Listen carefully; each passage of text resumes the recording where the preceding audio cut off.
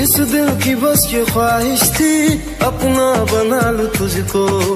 ऐसा करम हुआ रब का, तू मिल गई है मुझको।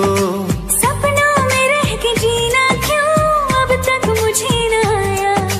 ना जाने कैसे, कब किस दिन